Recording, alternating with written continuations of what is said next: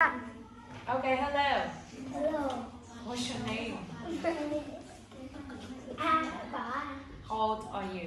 um, nine years old. How are you today? I'm fine, thank you.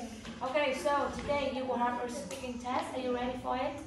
Yes. So the first question is, what did you do yesterday?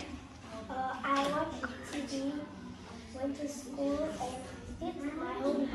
Okay, how about tomorrow? What are you going to do tomorrow?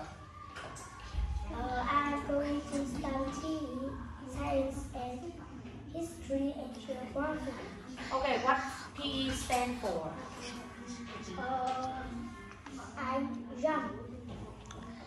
Uh, What PE stand for? Stand for? PE is P is mean is. Physical education. Yes. Okay. Next one. What would you like to be in the future? Um, I would like to be a freelance Oh? because I want to work. freelancer.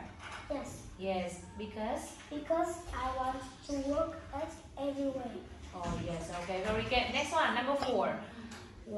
Who cook in your family and why? In my family, my mom always cook because my father can't cook. Uh, but your father cannot cook.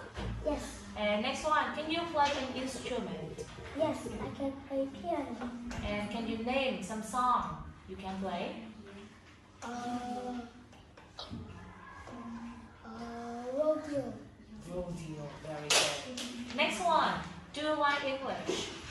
Yes, because I want to communicate with foreigners. Communicate. Communicate with foreigners. Okay, thank you. Have a nice day, Bảo An. Goodbye. Okay.